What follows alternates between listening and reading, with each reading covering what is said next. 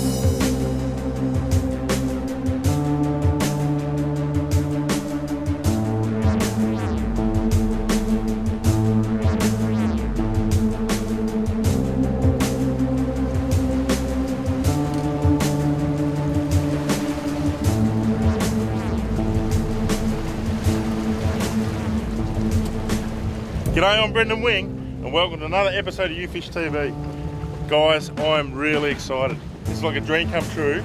I've never ever caught a marlin, and I feel honoured to be on one of the best marlin boats in the country right now. A boat called No Moor, out of Port Stephens. Today, skipper by Changa.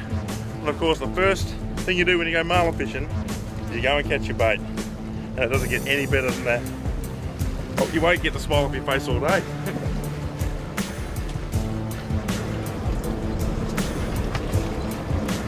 There he is.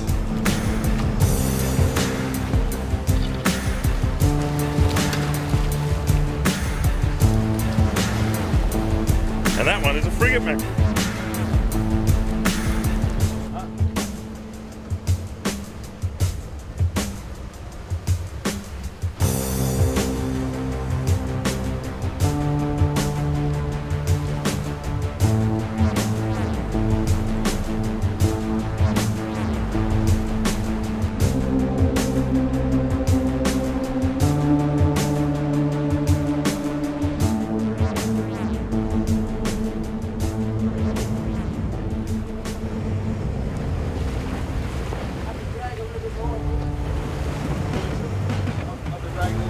I have.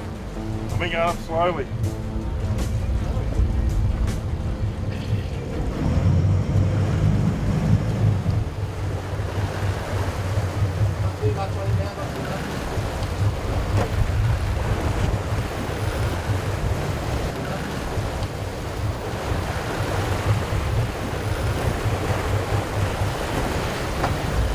What's up? Tightening it up? Changa? We'll start doing it up a bit.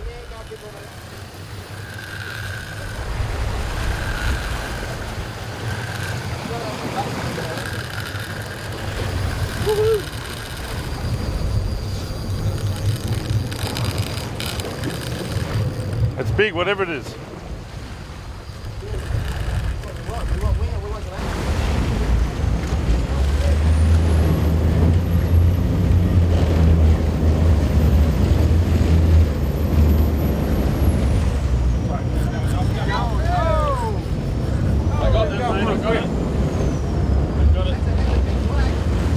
Nice fish.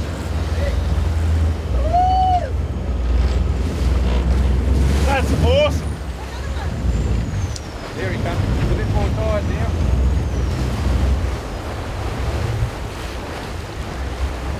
Where's the leader? He's going under the boat.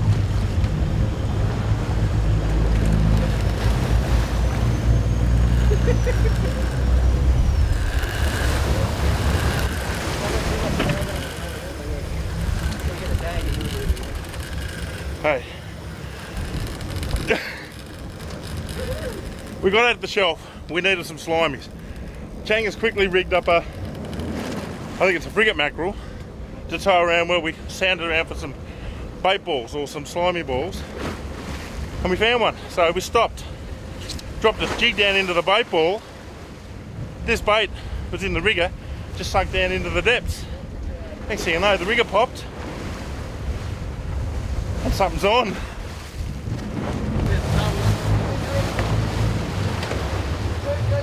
Too deep.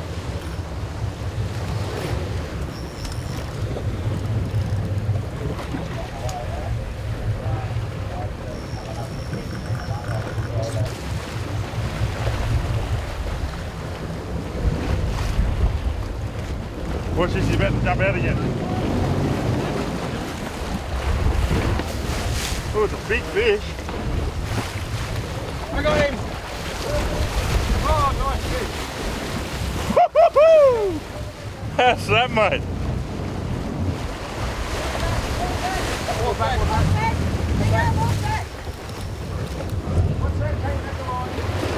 You mean walk forward? Try and try and get the swivel straight to the end, and then I'll. When that leader comes up, lock back, okay?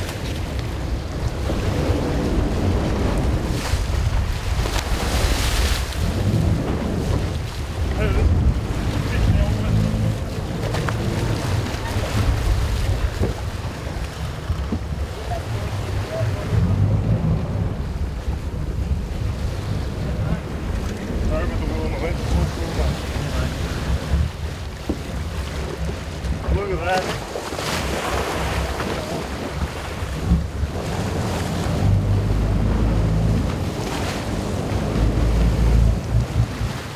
green. I'm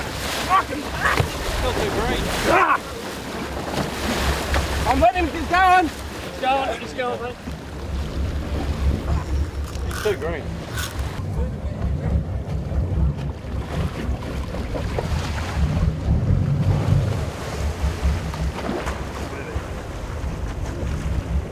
Nice fish.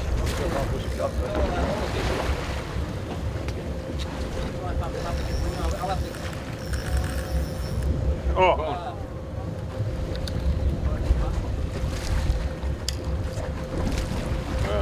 We can't. ha! We can't complain. We had him for a good while. Well there, well, there you go. Nah, no problem at all. But you know what? We got the tag in. Winga gets his first marlin. Changa. Hold on, mate. Woo! Shut the gate because the horse is bolting. Well, there you go. I've been fishing nearly 30 years. And picked one fine day, made the made the trip up on the plane, got on the boat with the guys, and in the first hour of trying for marlin, pretty much on my first ever marlin trip, uh, yeah, we got a hookup. It didn't go down like I hoped it would go down. I wanted to sort of hold it myself and bring in the boat and get a photo and let it go, but at the end of the day, she's still swimming. And as our catch cry goes, we're thinking future anyway. So now I'm going to show you something. This is my official I caught a marlin card, my tag card, filled out by Changa. He's an experienced skipper. He's called that fish at 90 kilos, black marlin. All right, Port Stephens, length about 2.5 meters. So there you go. That's my first marlin. And hopefully it's a sign of things to come we can get a few more and hopefully I'll get my chance to put my hand on one and touch one and tell her I love her.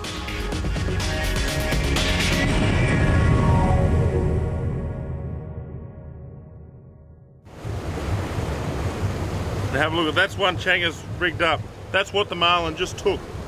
That exact bait on a circle hook. And the idea is that's why we, we don't just lock up the drag and strike the fish. We slowly ease the drag up. And the idea is it pulls that slowly out of the stomach of the marlin and that slowly wraps around the jaw of the marlin. Once it's caught, and it's all sort of guessing, we slowly tighten the drag and that will eventually get set. And that's how it works.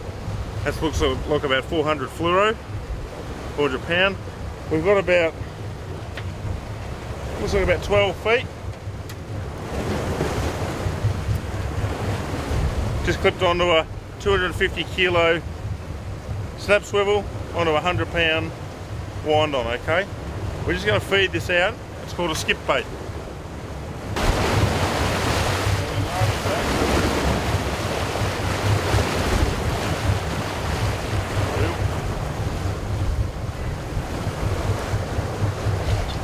Put it at about 50 metres. I know that's 50 metres when the red line gets taken off. Watch, that's a marker. There we go. I've got 50 metres out. Now, it's still pretty tight. I'll put in the rod holder. I'm going to grab this line here. A hold like that. And make 15 turns. Right, then that gets clipped into this clip. Everyone come and have a look. This clip here goes in like that. When a fish grabs it, it pulls out. So we're gonna put that loop in there and clip it in. We can adjust this thing here to adjust the tension of the of what break at what pounds it pulls out. So when a fish grabs it, off it goes and engages the reel. So let's put it in again. Now, this is called an outrigger. Watch you go up.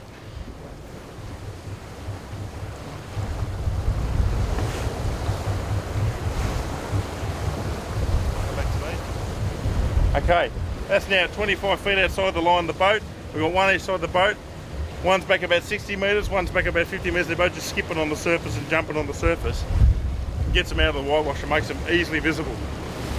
The idea is now, a fish comes along, Bill whacks it, grabs it, whatever. It's going to pull out the clip. It's going to activate the drag, but we're going to have the drag set very, very lightly. The reason we go to free spool, we don't want to rip that circle hook out of the fish's mouth. If he swallows it, he'll put it in his guts. We want to slowly, turn by turn, as the fish is running, do it up two kilos at a time till it gets about six or eight kilos. And at that point, it's about at his jaw, it turns around in the jaw, and we get a solid jaw hook up. I've been learning off the best. If you can give us three or four basic, real big tips that we can knock over in a couple of minutes that would help people find the marlin, what would they be? Well, you need to be where, where the fish are.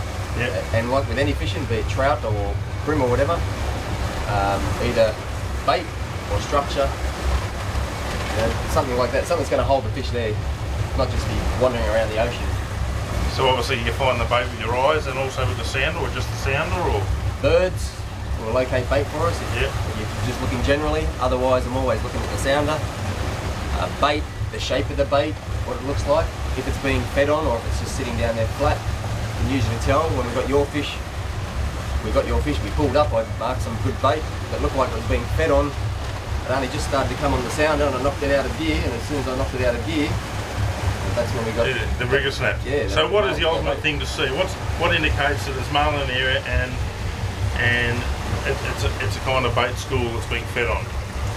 Uh, the, the shape of the bait, if it if it goes vertical or, or peaks or gets split or broken, uh, and a lot of the time you can actually see the marlin or mark the marlin under that or beside that break or the split or under, under the thing. You see like a mark next to the bait ball, okay. So you really want something tight with a point on top, not scattered everywhere. Yeah, if it's scattered, it's usually not being fed on. It's just Okay. everywhere.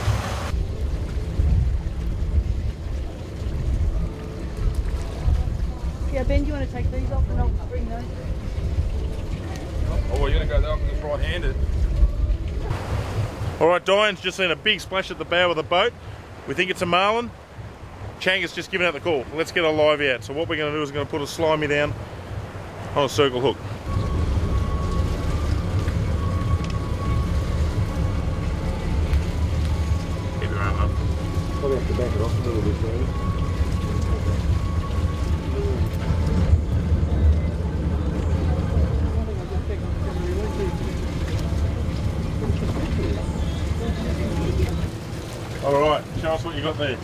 Slimy mackerel. Slimy mackerel. I think the, the proper name is a, is a blue mackerel.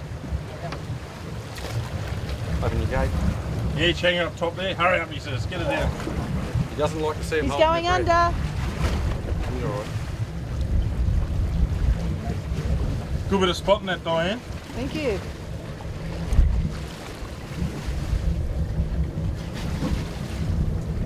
Now the theory is if there's a marlin here and we saw right, Chang is saying they've got exceptional eyesight. They can see like a 50 cent piece at 100 metres in clear water. So if there is a marlin down there, he already knows that that live is swimming around. Diane's just going to put him down, get him down about 30, 40 metres, let him sit there, put in the holder, and then if it if it happens, it happens. Got it. Okay, what's happened is We've seen a splash as we're trolling along. Oh!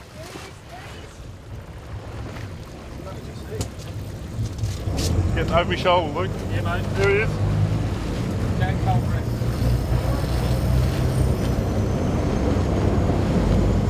Look out the front of you, see this?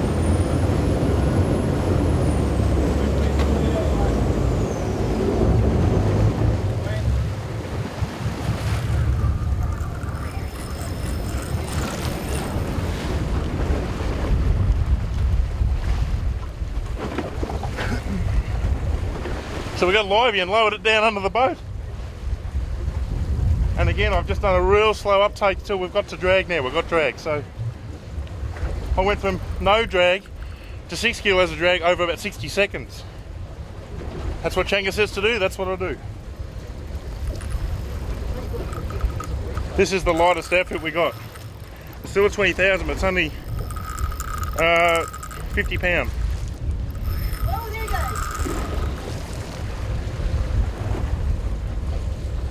Whoa.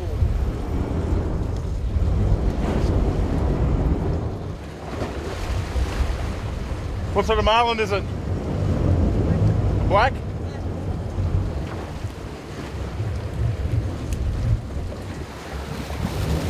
Oh, nice jump.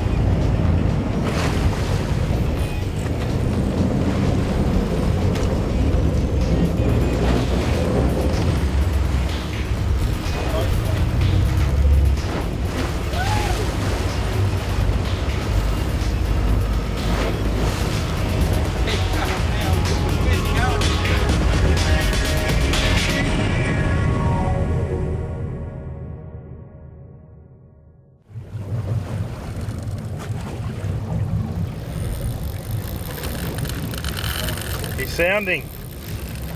Is not a bad first experience at marlin fishing. We're out on a boat called No Moor. M O O R as in mooring.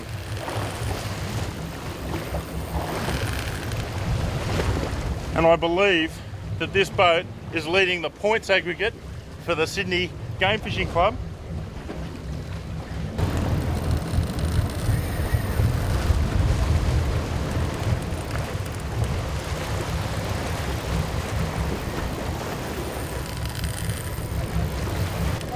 Going down.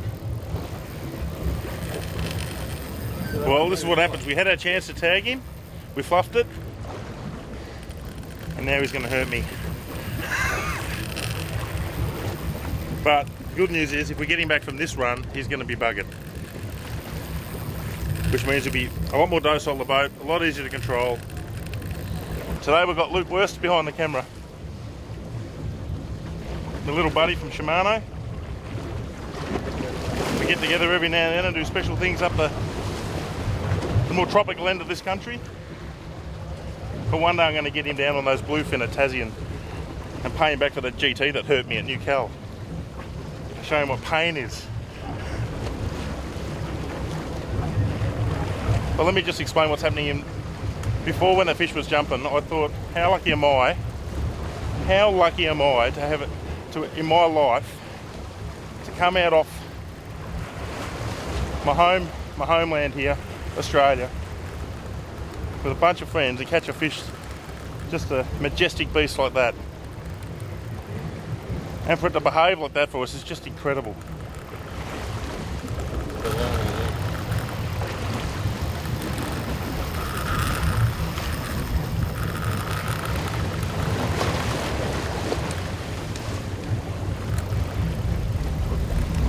One thing is about the guys we're fishing with, they like to use the boat, they like to be aggressive and charge down the fish with the boat, get a tag in it. Because when they fish competition, they're out enjoying the resource without having an impact. They don't keep any of the fish. So the competition is usually won by he who tags the most marlin. But I want to enjoy the moment. I don't really want him to be chased by the boat. I want him to hurt me and just go man versus fish, head to head, and have a clear winner. I've grabbed the left-handed rod again. You know what? I'm actually getting quite good at it because I've been practicing so much.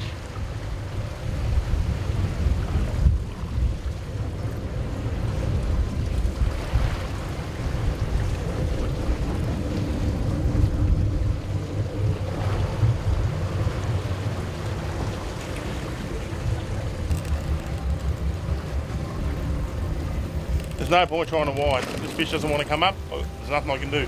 I can give it more drag. I'm not going to. It's the lightest outfit in the boat.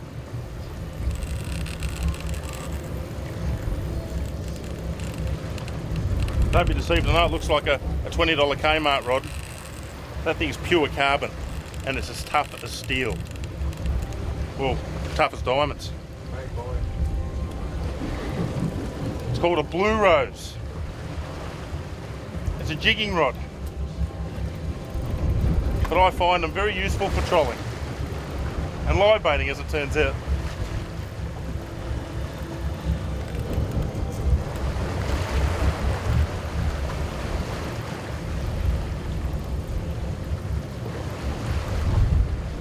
That's 20 minutes.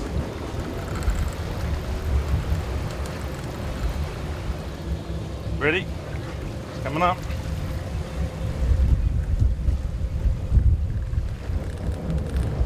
Woo!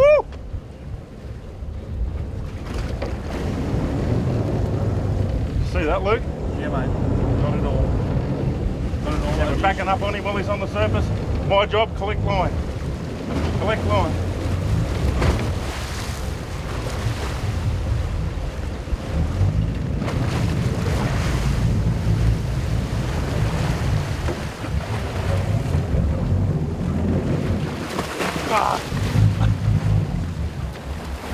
He's tagged. beautiful shot. Even if that fish was in the boat, we probably couldn't have tagged it better than that. Once you get on this wheel.